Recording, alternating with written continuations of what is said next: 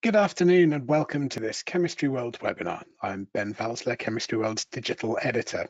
We're going to give people a little bit more time to join the room for now, but while they do, I'll let you know a bit about the platform that we've chosen to use and how you can use that to speak to our guests today, to ask them questions and to generally interact with the webinar itself. So you may have used this before, there's been a lot of webinars this year, but this is GoToWebinar and uh, you can, for a start, uh, you may be enjoying seeing my face, but maybe you're on a slower connection somewhere and you'd like to make use of all of your broadband to see the presentation and hear our speakers talking, in which case there should be a little button above my head that you can use to turn on or off the webcams. I won't be at all offended if you choose to shut down my face. So do feel free to do that if you're on a slower connection.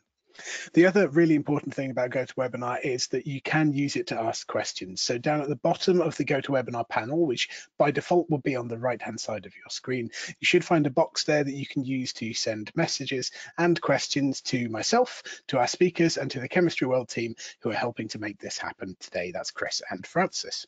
So any questions you have at any point throughout the webinar, just get them into that questions box at the bottom. If they're questions about the topic, we will put them to our speakers at the end of the presentations. If they're questions about the webinars themselves, then one of my colleagues will be happy to answer that for you. Now, also in a couple of days time, we will send you a link to the recording of this webinar. Now, it may be that you just want to watch something else again. Maybe you arrive late or have to leave early. Don't worry, the whole thing will be recorded and you'll be able to watch that again whenever you like to with from that link in your email. So keep an eye out for that in a few days time. The other thing we will send to everybody who attends the broadcast live is a certificate to say thank you. So keep an eye out for that as well. There should be a PDF attachment in that with a certificate of attendance saying you attended this webinar. That's just our way of saying thanks. So there are still a few people coming in, but I think we should move on and broach the topic of today's webinar. So today we're going to learn about advanced catalyst materials characterization using the state-of-the-art thermoscientific Spectra 200S TEM. As you can see on the screen, we describe that as a workhorse for catalyst characterization. I should add Thermoscientific are our uh, sponsor and, and they've supported us for this webinar. They've been fantastic in finding not only an interesting topic to cover, a really good angle on it, and then finding the the right people who uh, use these things in the wild. They know how to talk about them, they know what they can do, and they know why they're so useful to you uh, as the chemistry community. So thank you, huge thank you to Thermo Fisher Scientific for uh, working with us to put this webinar together. Uh, catalysts, as I'm sure you know, are essential in almost all walks of chemistry, and advances in analytical capabilities of TEM over the last decade have fueled a new era of catalyst research.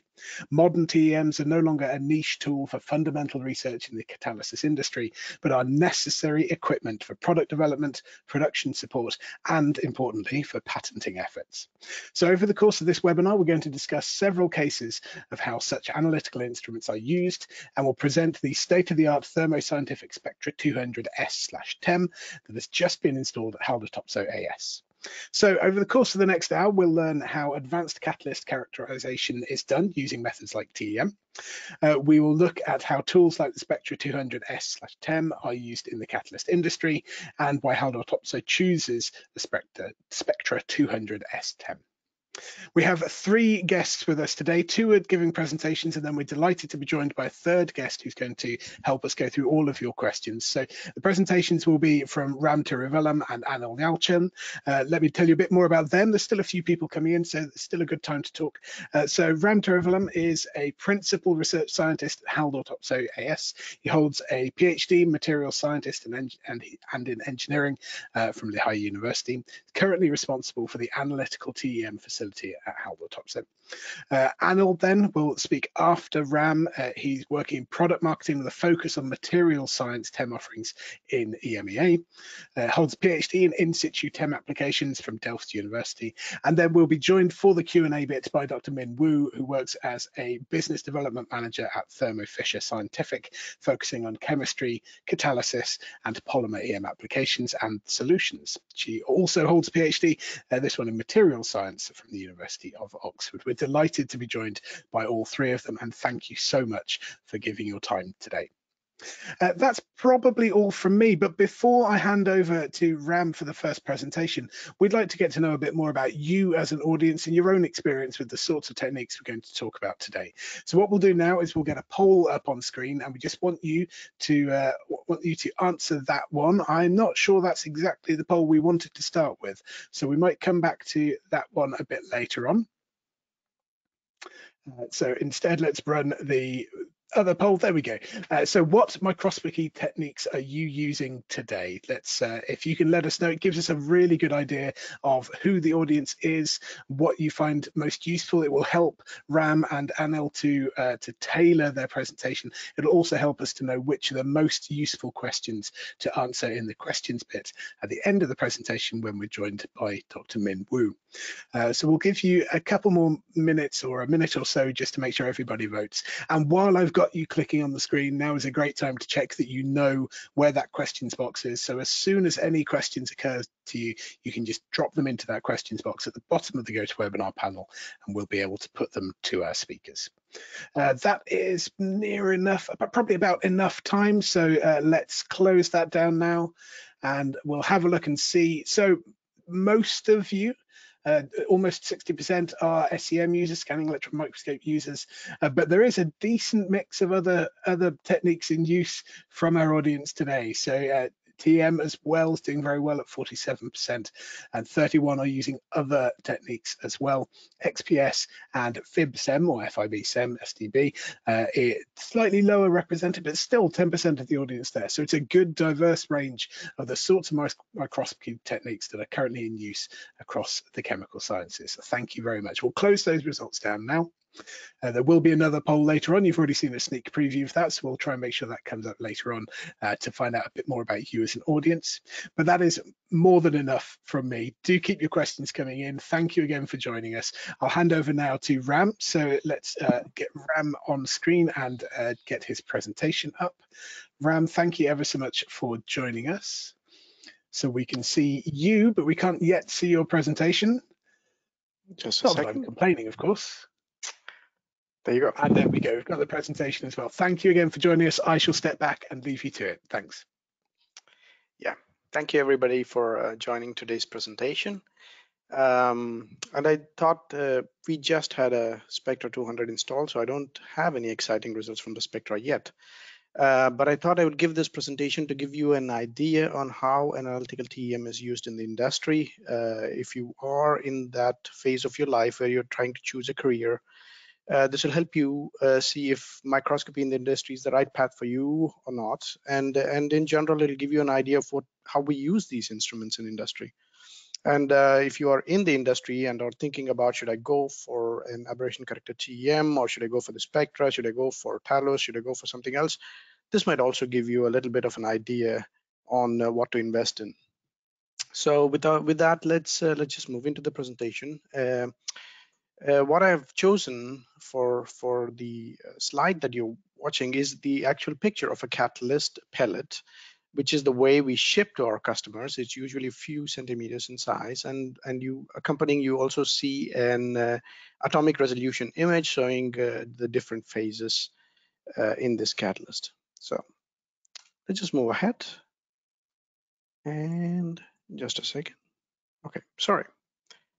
Uh, so who, what, and why? Uh, Haldor Topsoe is a global leader in catalysis.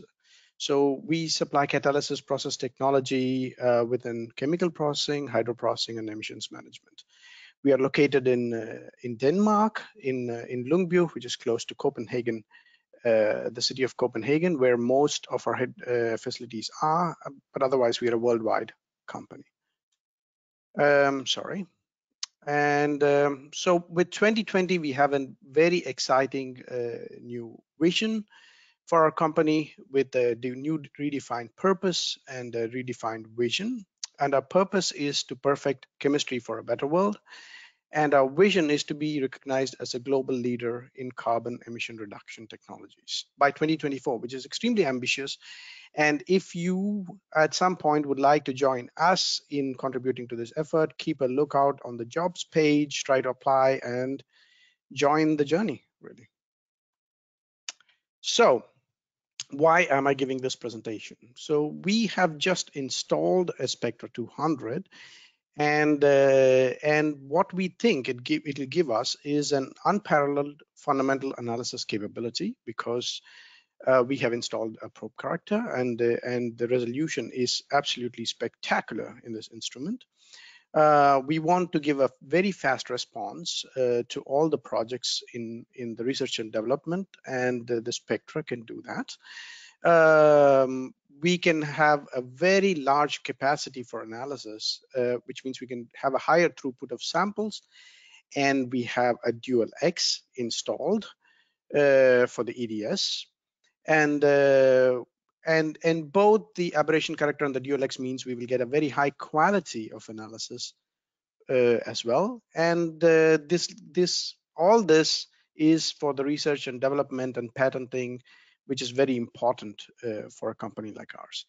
And and throughout our presentation, I'll give you some examples to give you an idea on how we use uh, some specific examples on how spec how microscopes have been useful so far. So with that, how is ATEM used in the industry? Now, before we before we understand how it's used in the industry, it's very important to understand the scale of things when you when you uh, when you want to understand how you are going to improve the catalyst. The first thing you look at is a plant uh, on all the way to your uh, to your right, uh, which is several uh, tens of uh, meters in size, and then reactors, which is a couple of meters in size, which is filled up with pellets, catalyst pellets, which are a few centimeters in size. That in turn is actually made from a powder, uh, which is comprised of particles, and the particles are comprised of very small single crystals that are a few tens of nanometers in size. And then the active site where the reaction happens, where the molecules anchor, where they react, is is a is probably a couple of angstroms in size, and um, and and it's like comparing golf balls to the size of the Earth, which is which is you can imagine that the scale that everything we do at the scale of these angstroms really contribute to millions in in uh, in in production capabilities for a plant. Uh, so with that, uh, just an introduction to Topsoe's microscope facility. We have several li advanced light optical microscopes. Uh, we have three SEMs and one electron microprobe. We have an analytical TEM, which is the Spectra 200, and we have an image corrected Titan uh, in situ microscope, uh, which was installed in 2008. And uh, now uh, the, the person who was solely responsible for this uh, magnificent instrument uh, has moved to DTU, and we have chose to partner with DTU to build the next generation in situ microscopes, which will be called a Vision project. And uh, and uh, if you want to know more about that, you can go to the webpage of Vision at DTU and find out more about that. Um, and so let's uh, just to give you a general introduction to how a catalyst is developed. Uh, so this is what is uh, is called a catalyst development pipeline, and you can see the different gates which uh, which a catalyst must go through before it is launched. So first you start with an idea or a scope. So so typically your customer contacts you and says, I would like a catalyst for this and this reaction. So you look through your portfolio, you look through the literature, you develop some uh, catalyst candidates, and you do an R&D lab scale development. And then, which is one of your candidates gets selected, okay, this is the most promising, then you go to a larger scale, make a few hundred kilos, do your pilot tests, make sure that it works. Then it goes to production in the plant, uh, then it is sent to the first customers and the feedback from the customers is used to improve the product a little more. And then the final catalyst is launched. So if you look at where the TEM is used in all these, uh, in these different steps, the first step really is where a lot of DFT is involved, a lot of literature search, a lot of looking at the portfolio, uh, where we are trying to define the catalyst. Um, and then we start making a few candidates and uh, and testing them and that is where analytical TEM is extremely useful because you're cycling through probably one to two recipes a week uh, at this stage depending on the reaction uh, and you need very fast feedback there to be able to see if the alloying elements that you've put in are where they should be and why a catalyst is working why it's not once you have scaled it up to a certain scale, then you are trying to finalize the recipe, you're trying to finalize, let's say the catalyst drying procedures, you're trying to finalize how you're making your slurry and so on.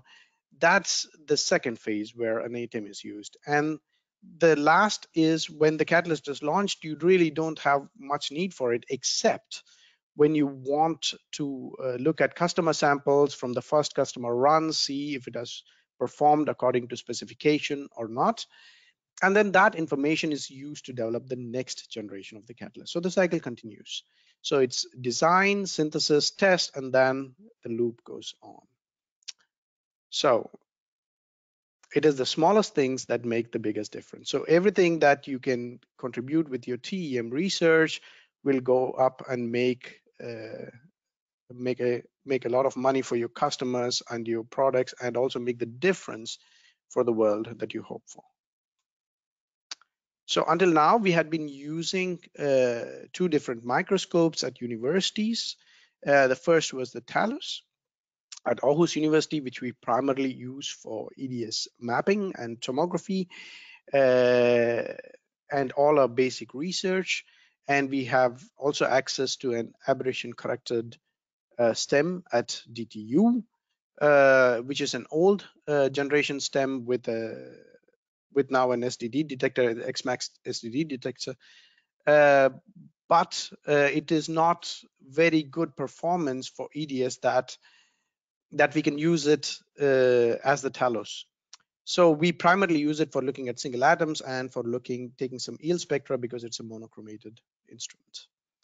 And the spectra is a hits the sweet spot between these two because it's a cold FEG that we have chosen. So we don't need a monochromator.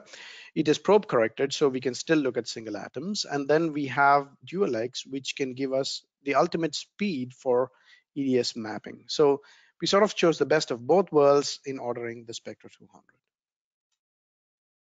And sorry. So why did we choose the dual X? Typically, when we are trying to make new materials, uh, we would like to see how the phases are distributed. And the example that you see is a is a is a sample that a student made when we were trying to develop some novel magnetic materials. So we had a calcine mix of iron, zinc, nickel, and strontium oxides. And what the XRD analysis showed was that we had a spinel phase with iron, nickel, and zinc, and uh, and we had a strontium ferrite uh, phase. And then they also reported that there was another phase which they couldn't really identify. Now, this XRD analysis, which is the bread and butter uh, analysis for for the industry, gives us quick input, but it doesn't really tell you how the phases are distributed. And so for that, we need something like the CEM, where you can see how the two different phases are distributed and what we see here is that there has been some sort of a contamination in the student sample. We also, uh, which has strontium and molybdenum in the material. So with a very quick map, which about takes 10 minutes, you can sort of resolve how the different phases are present in this material. So this is how we use uh, EDS mapping uh, in our company. So with that, let's move to some specific examples. Um, so the first example I would like to present is is a, is a noble metal promoted autothermal reforming catalyst. So in, in autothermal reforming, what happens is you're trying to convert uh, natural gas to a mixture of CO2, CO, and hydrogen. So basically you're trying to produce hydrogen. So you first, what you do is you burn the natural gas to generate some heat. Um, and then once you start burning it, then there is an endothermic zone where you have a bunch of catalyst. And what the catalyst does is that it takes the remaining natural gas and the steam and converts it into CO and hydrogen, which is typically called synthesis gas. And it can be used for the generation of further materials. So you can make gasoline out of it. You can make uh, uh, methanol out of it. So you can make further products from the mixture of CO and hydrogen. So once you have CO and hydrogen, you can pretty much make uh, do a lot of chemistry from it. Um, and the problem that we faced was at the top of this reactor, it's extremely hot. So all the nickel that was present in this catalyst started evaporating and all the alumina that it was supported on started converting into rubies. Uh, now rubies are something we like, but not in a reactor. So, so the ideal thing was somehow to add uh, some sort of alloying element to to make the activity higher that would reduce the temperature of the bed at the top of this uh, catalyst bed and then it will stop uh, ruby formation so we had a cm200 at the time so we started doing some maps. So we tried iridium rhodium and ruthenium. And what you see at the top uh, middle and bottom are the distributions taken with the cm200 of nickel and iridium and a combination of the two nickel rhodium and a combination of the two and nickel uh, ruthenium and a combination of the two. So you can see that at this stage you have two different phases two different nanoparticles and the expectation was that as the reaction proceeds the nickel will move around. It will be sort of captured by these noble metal rich particles and then you will form alloys. Great. And that does happen.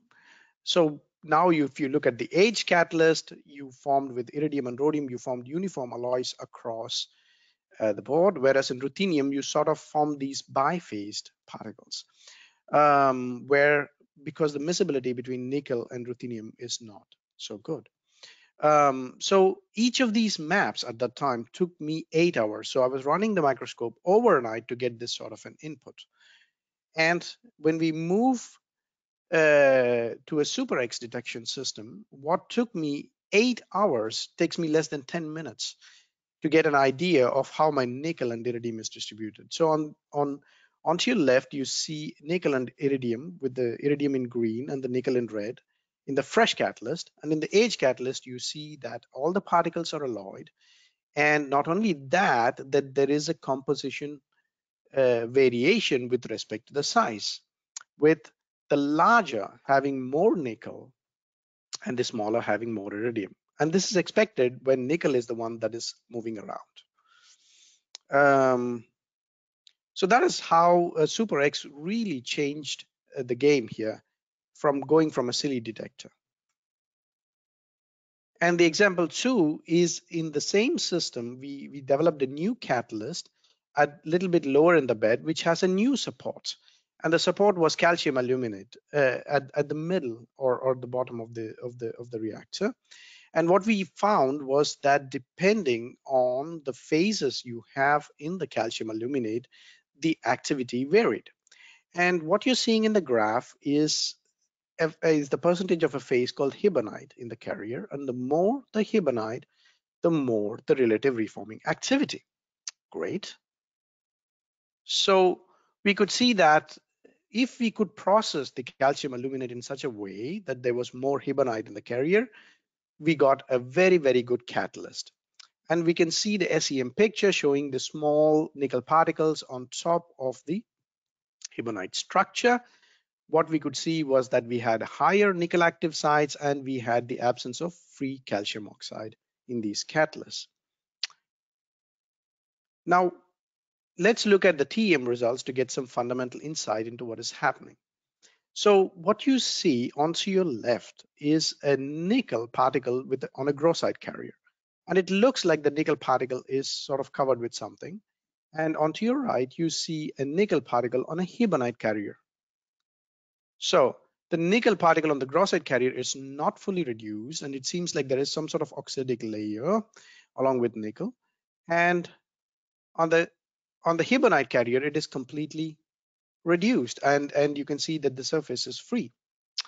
So when you do EELS, which is the go-to technique here, uh, to make sure uh, what you have on the surface is exactly coming from the same region that you're mapping, uh, what you see is that it is covered by calcium. So all the free calcium that moves in the grossite carrier has covered the nanoparticle so even though your XRD might measure that you have the nanoparticles, the surface of these particles is not accessible. And so you have a passivating overlayer on top, which makes the nickel surface non-accessible.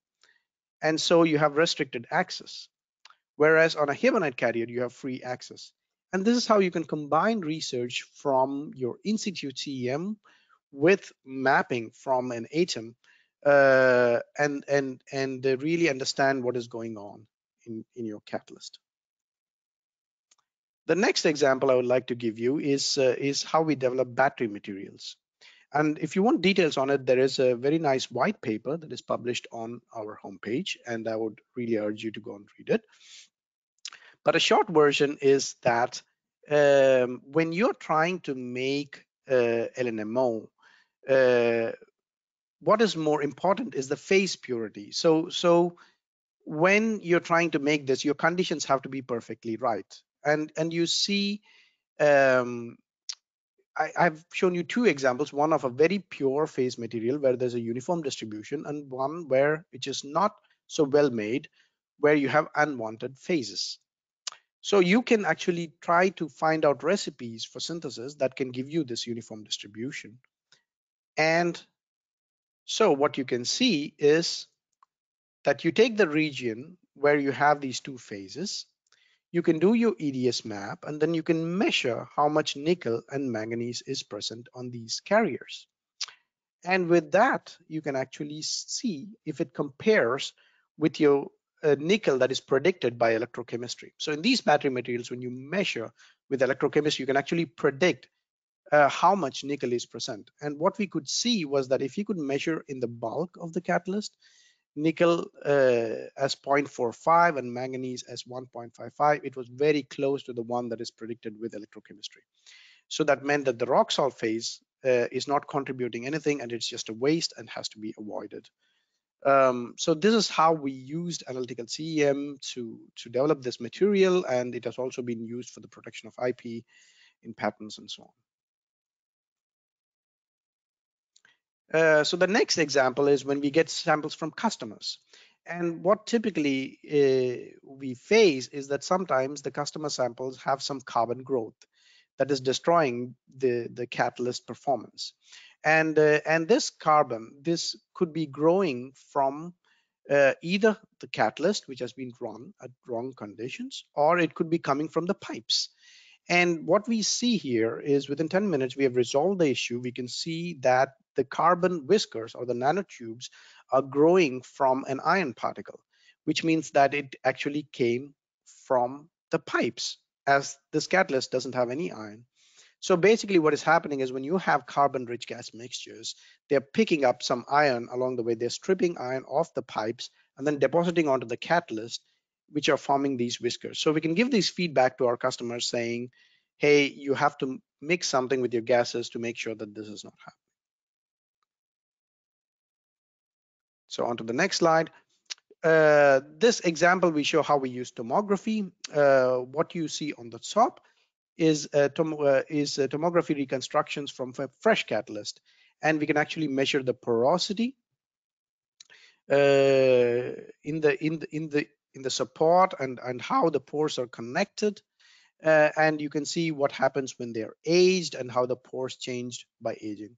So with that, you can actually see how the catalyst is getting affected by the aging process.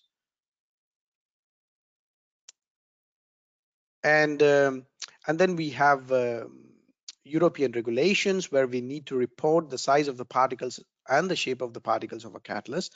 And TEM is, is one of the best techniques to do it. So you take images and then you give report to the authorities showing, okay, this is if you have nickel oxide in a catalyst, if you have alumina in a catalyst, this is the size of the nickel oxide, this is the size and shape of alumina in a catalyst, which is a very important part also for companies to document its products and, and make sure they are uh, compliant with all the regulations.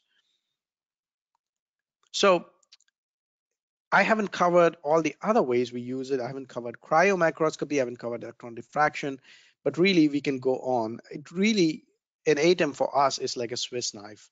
Uh, and, and we use almost every feature of it. And, uh, and, and the best compromise we found was in the Spectra 200, and that's why we got it. And uh, it was installed uh, mid-October. We are starting to use it and I can only recommend it. It's a fantastic instrument. And uh, Anil will present uh, after me on the best features of this instrument. And with that, I have to say thank you. Thank you very much, Ram. Thank you for joining us. We, will hand over to Anil in just a sec. Just a little reminder, especially to everybody who joined us late, we'll send you a copy of the recording of this presentation. We don't share the slides because we feel that the important thing is the slides in the context of what's being said, but you can watch the recording at any point. So if there's anything you missed or anything you'd just like to go over again, keep an eye out in your inbox for a, a link to that recording shortly. Uh, but thank you again, Ram. We will uh, be joined by Ram again later for the Q&A session today, but now we'll hand over to Anil. So let's just get Anil Yanchin on screen and we'll see his presentation as well. Once again, do get any questions you have at any point throughout the presentation, uh, get them into that questions box at the bottom of the GoToWebinar panel. Uh, Anil, we can see your presentation. We can't yet see your lovely face though, so if you wouldn't mind uh, switching your webcam on, then we can see who we're hearing. Excellent. Thank you once again for joining us, Anil. I shall step back and leave you to it. Thanks a lot, Ben and Ram. And um, as Ram mentioned, I will be talking about basically what we have under the enclosure for Spectra 200. Um, so I will first start with the platform overview because we have basically two platforms in the Spectra. We have Spectra 200 and 300. I will briefly mention that and then the, the, the imaging performance and analytical performance of Spectra 200. Following that, what provides these imaging and analytical performances, mainly uh, extra brightness cold-FEG, S-CORR probe corrector, Panther stem detectors, IDPC stem image formation technique, and EDS detector offerings that we have on uh, Spectra 200. And after that, we will have questions and answers session. So uh, with the Spectra, we basically have two offerings. The first one is on the left, you see Spectra 200, which comes uh, up to 200 kV. And we mainly uh, use this platform for highest throughput for all applications, particularly focusing on STEM and EDS. And we have also Spectra 300, and it can go up to 300 kV. Uh, and for this platform, we have two different uh, electron source offerings. So we can, uh, it can be uh, extra brightness cold-FEG but we can also offer X-FEG mono uh, option for monochromated applications. And uh, Spectra 300 is mainly for highest resolution for all applications because it also delivers your 300 kV capability. So this uh, for this webinar, we are mainly focusing on Spectra 200, and what we have is ultra high brightness, uh, ultra high brightness cold-FEG, S-CORR probe corrector, Panther stem detectors, IDPC stem, and in terms of EDS offerings, DualX and SuperX. What do we get uh, with the probe corrected stem imaging on Spectra 200? Well, we can go down to 60 picometer at 200 kV. In principle, we can go better, but the official number is 60 picometer, and uh, sub-angstrom resolution still at 60 kV. And it's also important to keep in mind that this platform is uh, with uh, the extra brightness cold-FEG so that you don't need to deal with monochromator, you don't need to excite it um, to, to get good imaging capabilities uh, for low kV uh, applications. And also the advantage of having cold-FEG is that um, because of its intrinsic brightness, we can really specify uh, at least 100 picoampere probe current at these specified resolutions. And yeah, the, the, these imaging performances are uh, thanks to basically extra brightness cold-FEG and as well as probe corrector that we have. If we go to analytics, so elemental studies, um, you see here the EDS map uh, acquired on uh, Spectra 200 and uh, the maps basically are unfiltered and they deliver us a sub-angstrom resolution in the Fourier transform. So this is actually quite new that uh, that we came up with with the spectra.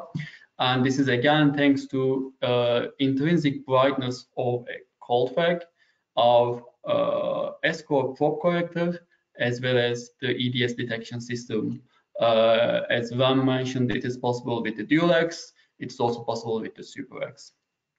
And uh, this specimen is coming from the Cornell University, so it's, it's, it's, good to acknowledge them here as well.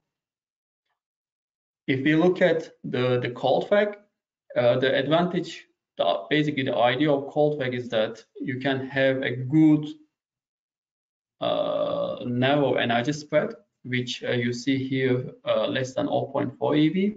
And at the same time, you have very high current, uh, around 500 picoampere, and the probe size is very small. So basically, uh, the probe size and the probe current, so high probe current and small probe size within that current tells us that we have a good, actually a very good intrinsic brightness.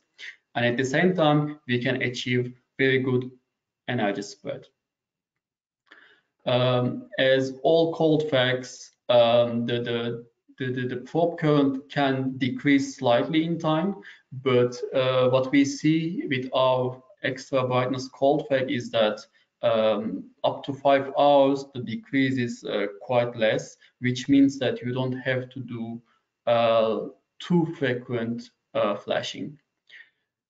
And while talking to flashing, basically we have a movie, which I will start soon. Uh, what we have here is that um, we have a specimen and we intentionally uh, put a damage with the probe and we will start now the flashing procedure.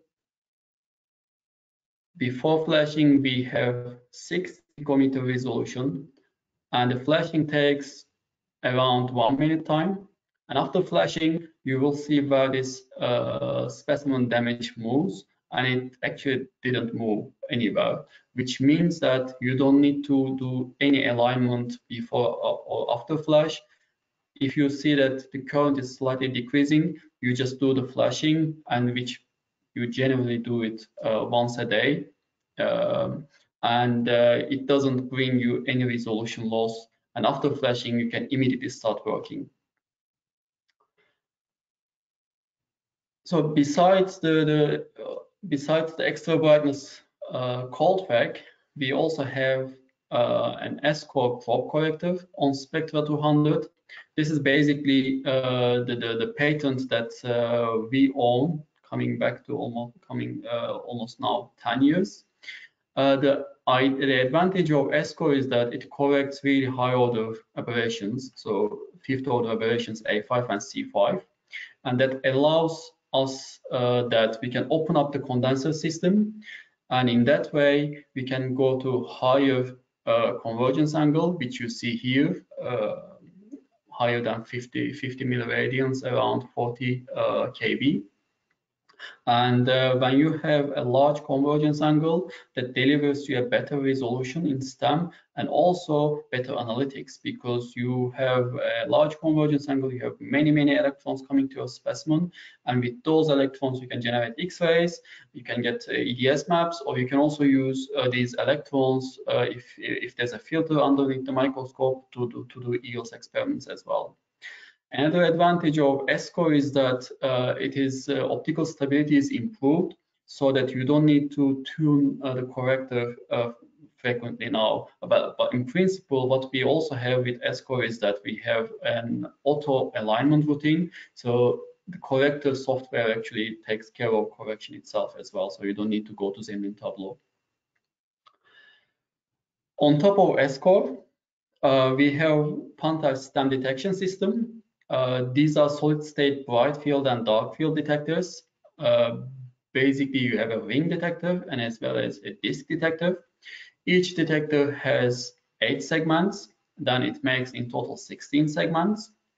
Uh, the, the detected geometry is optimized, uh, meaning that, for example, if you look at these four inner segments in the ring detector, the inner over outer radius is exactly 1 over 2, which seems to be the sweet spot for ABF STEM imaging. So you can use these inner segments for, uh, for, for specifically for ABF STEM applications. You can use outer four segments for ADF or HADF, or you can use the Hall detector for ADF STEM imaging, and the disk detector you can use for bright field STEM. The advantage of these Panther stem detectors is that we have new amplifiers with it, and it, that gives us um, good sensitivity in very low doses. And we have uh, more than 100 times uh, gain uh, with respect to our previous generation bright field dark field detectors, and also the noise floor is uh, considerably reduced. Moreover, um, for really specialized applications, we have a special arm, um, and that special arm you can put whatever you like. Uh, if you have special ideas, if you have uh, customized uh, experiments, you can use that arm.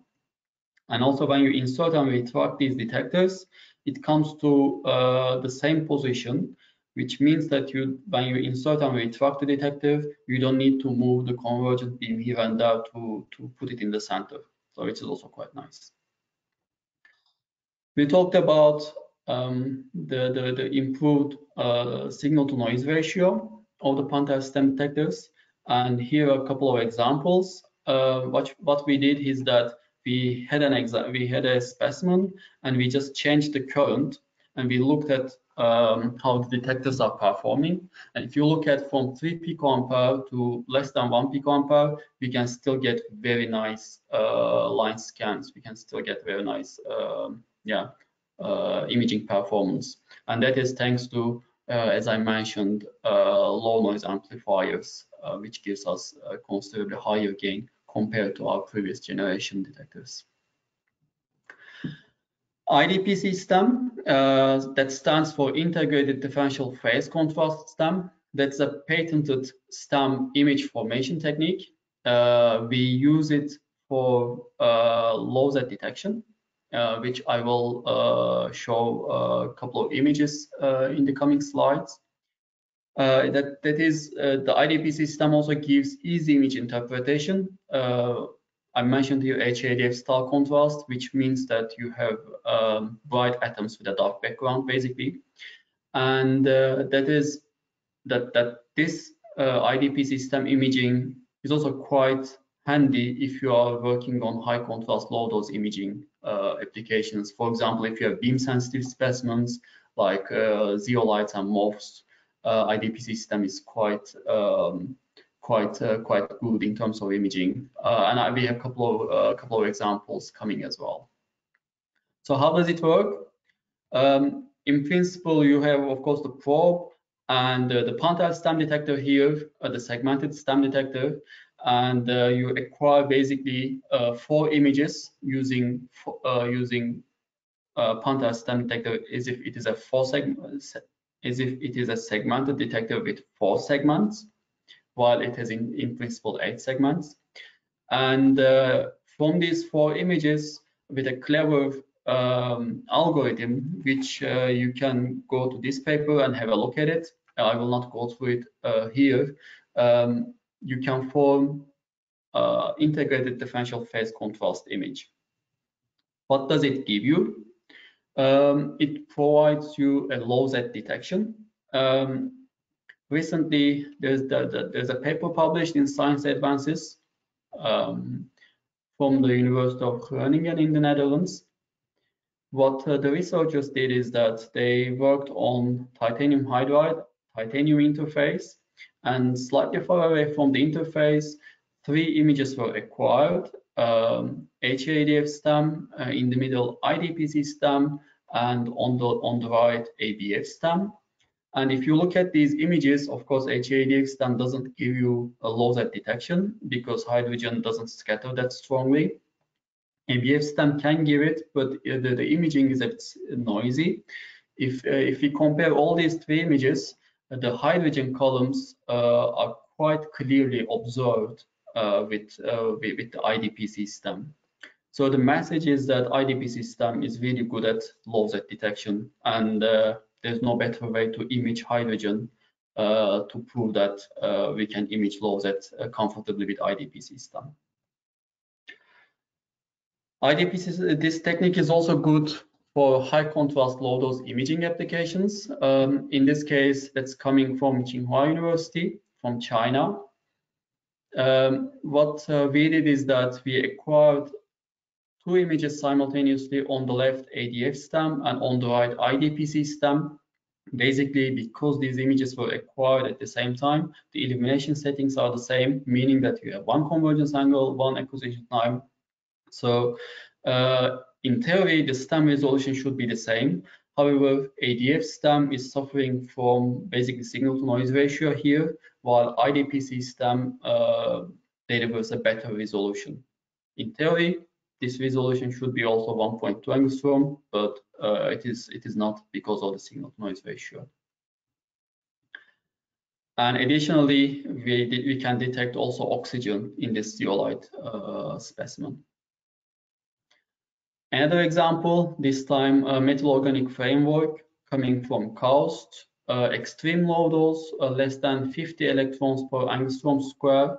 The resolution is around 2 angstrom.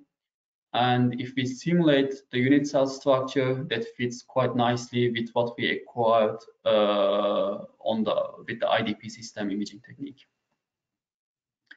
And uh, the last example, again, uh, a different MOF specimen this time, this is also coming from KAUST. Uh, this MOF specimen delivers around 1.4 angstrom resolution with the IDPC stem, and this 1.4 angstrom is exactly matching carbon-carbon separation in the benzene rings uh, in, in this MOF specimen. Basically, the carbon-carbon separation is uh, 1.4 angstrom here, which is exactly the same also in graphene structure. Um, so that uh, we can resolve uh, this time the benzene rings uh, with the IDPC stem. In terms of EDS detector offerings, Spectra 200 has two flavors. Um, one mentioned that we can offer Dual-X, uh, which is uh, two track detectors. They are retractable, they are quite large. Each one is 100 millimeters square. And uh, that delivers really high X-ray collection efficiency, which is uh, handy if you are working on beam sensitive specimens. Another option is a Super X. Uh, they are round, four round detectors, each one uh, having a 30 millimeter square surface area. And uh, this is uh, the, the Super X uh, offering uh, could be quite nice if you are continuously working on quantification applications. So what we have covered in this presentation is that we looked at what we have, the important features inside this enclosure uh, we have extra brightness cold FEG.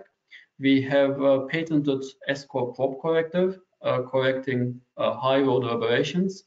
We have our Panther stem detectors for low dose imaging applications.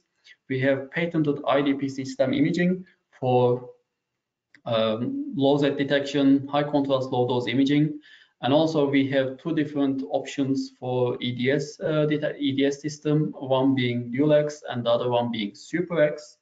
And with this, with this one, I would like to thank you all and we can move to the questions and answers session. Thank you. Thank you very much, Anil. Uh, just before we get to the Q&A though, we'd like to find out a little bit more about our audience today. So we've got another poll to run.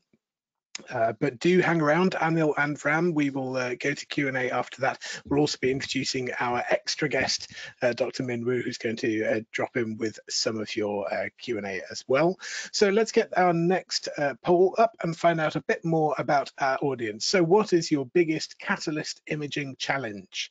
And there's a, a, series of options that you can choose uh, as many of as apply to you so you can tick more than one box. Is it uh, high resolution small nanoparticle imaging? Is it beam sensitive materials imaging? Is it a large area imaging? Is it the chemical information that you lack uh, or is it something else? And uh, we'll give you plenty of time to get all of those uh, get your opinions in. Uh, meanwhile if there are any questions that have occurred to you throughout then now is a great time to get them into the questions box at the bottom there we're going to give you a little bit more time. So it's quite exciting as a webinar host. And the reason I'm looking over at this screen is because I can see the answers coming in. And it's a bit like watching a racing bar chart as I can see how things change as more of you uh, get engaged with the poll. So do please get your answers in. It really helps us to get to know uh, who our audience is and it helps us to tailor future webinars so we can make sure that we bring you the information that you need and you will benefit from. Likewise, there will be a uh, exit poll as uh, at the end of this webinar, uh, you'll be redirected to an exit poll where you can have your say on the webinar itself. And there's a few extra questions in there from Thermo Fisher Scientific. So do please fill in the exit poll. Uh, we will also attach it to the email that includes the recording and the uh, certificate. So if you don't get a chance to fill it in right now, that's fine. You will get another chance when that email arrives. But it is really useful for us to get to know you, get to know what we've done right, what you'd like to know more about, and so on. That's probably enough time on this poll. So I hope you've all had opportunity to vote. Let's close it down and let's see those results. So uh, high resolution small nanoparticle imaging, as always, we want to see things smaller and smaller in the highest resolution we possibly can. And that's certainly reflected in these results. But 47% are perhaps lacking the chemical information that you need in terms of catalyst imaging. So thank you ever so much for, for filling that in. Uh, that might also uh, flavor some of the answers that we get to your questions. So it's still time to get those questions in. We've got about 10 minutes left. Uh, so let's bring Ram back. Uh, I think we've still got Anil anyway, but we'll also now introduce Min. Uh, now, Min, I think you didn't want to have your webcam on throughout the whole Q&A session, uh, but would you mind just turning it on for a second, just to wave so we know that you're still definitely with us? And then we can we can move on to Q&A after that. Okay, hello. Uh, Hi, my, yeah, sorry. I'm sitting in a hotel room, so I don't really uh, want to look uh, too unprofessional. Uh, so yeah, so but I'm here. I'm alive. Yeah, I'm a real person, not a robot. Uh, thanks very much uh, for for the wonderful presentation, and Ram and Anil, and thanks everybody for your attention. so I'm gonna turn myself off, and then we can go on to the exciting Q&A session. Uh, so um, I have uh, quite a few questions, actually. Um, so first, we have a question for uh, for Ram.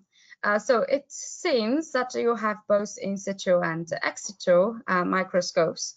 You have the ETEM, and now you have the brand new Spectra 200 ColdFEG. Um, how would you choose? You know, when would you use in situ TEM, um, and when would you use an ex situ For for for you know specific uh, catalysis uh, characterization work? Um, that's uh, that's a very nice question.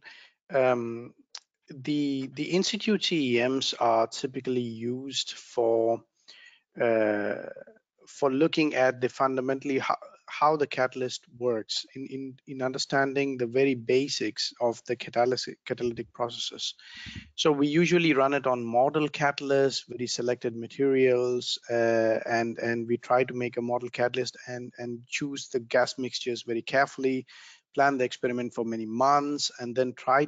And the biggest challenge is to make sure that you're not, uh, with your electrons, damaging the chemistry in any way. So, so that is a long-term research, and and it is not research that that can contribute to your uh, your quick development projects.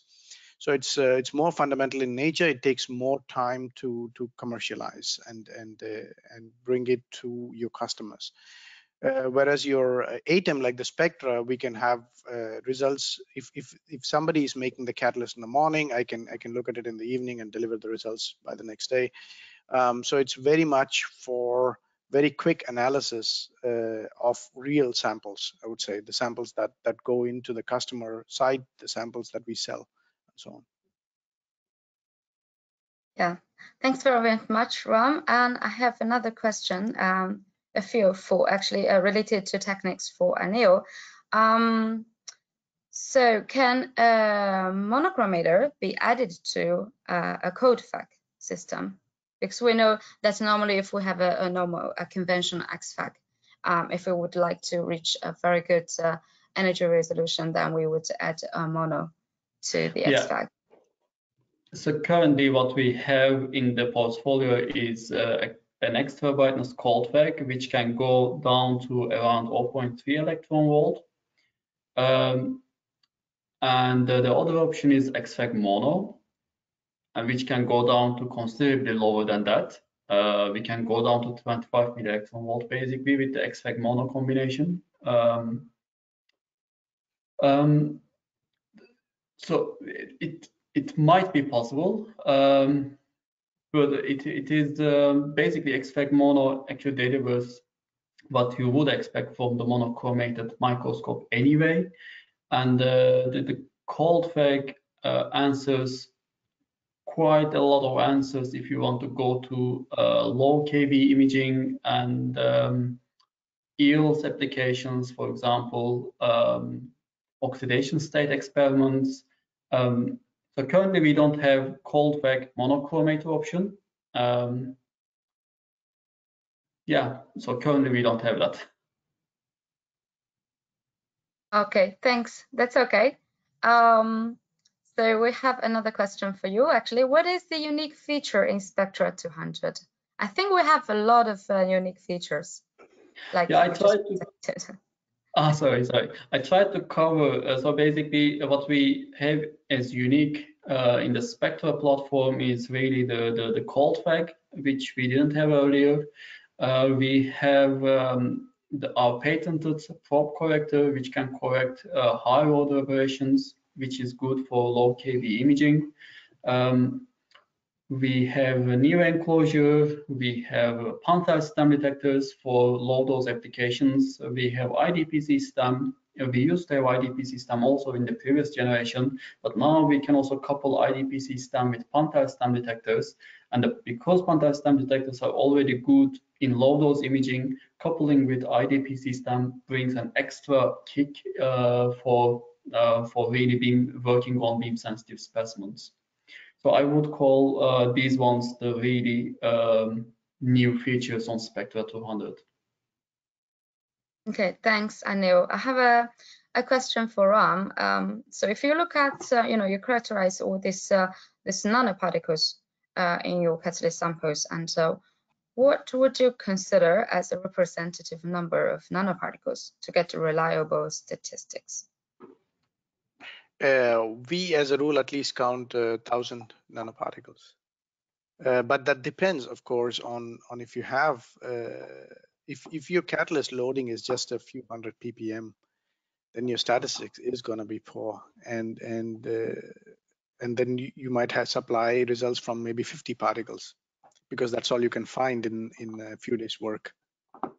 So but as a rule, when when whenever it's possible, it's over a thousand particles. Yeah. Okay. Yeah, I, I also know that uh, for some other cases, you know, it depends on the regularity of the nanoparticles. That some some users, some customers would like to see 3,000 or even more. Yeah. Yes. Can go to very crazy numbers. Uh, yes. Yeah, and it's it's crazy if you have to calculate to them uh, manually. You know, it takes a month.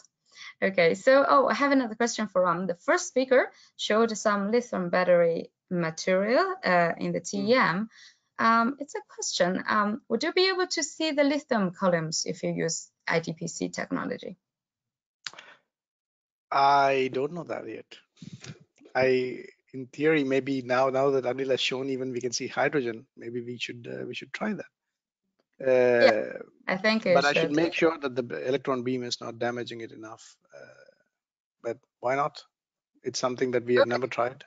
Yeah. Yeah. Well, I can confirm that uh, we have uh, we have done it somewhere else, and uh, okay. we able to see the lithium. It's good to know. yes. Yes. So sorry, I'm selling myself. Yeah.